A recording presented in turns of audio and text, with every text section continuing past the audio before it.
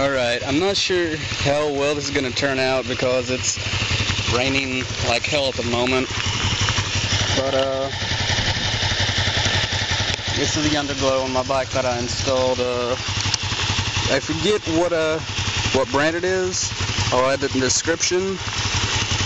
But it has several different settings. Starting off with red, then green, blue, amber, this right here is, uh, I'm not quite sure, like red and green. Those are the LEDs that are on right now. I'm not sure what color it's supposed to be making. Then right here's a purple, orange. This is like a cyan or a teal. Uh, here's another shade of green. It's with the green and amber light on. This is, uh, on the camera, it looks like it's a harsher purple. And this right here is uh, all three, the red, blue, and green, so it's a white. Here's red and green on. This is making a yellow light.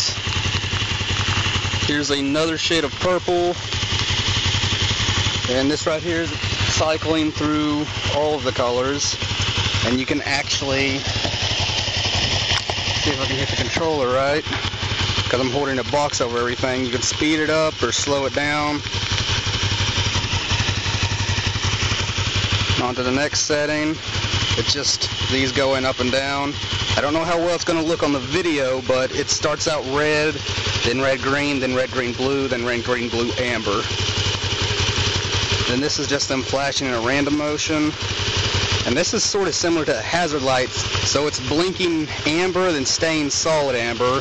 That was blinking amber, staying solid blue. Blinking amber, staying solid green. Amber, solid red. And now this is pulsing through the colors. You can speed that up or slow it down. And then this right here is just going through the different possible combinations one after another. And then we're back to the default setting, or the first setting rather, which is red. It's a very nice kit. It wasn't expensive at all. I think I paid 40 bucks for it. Includes six tubes of LEDs, the controller and the remote, and all the wiring, as well as the 3M tape to mount it to the bike. I mean, completely worth it. As you can see on the bike, they replaced the, actually I don't know if you can see it, but they replaced the front turn signals with LEDs and replaced the front halogen bulb with a xenon bulb, but left it in the reflector housing. But that's everything. Bye-bye.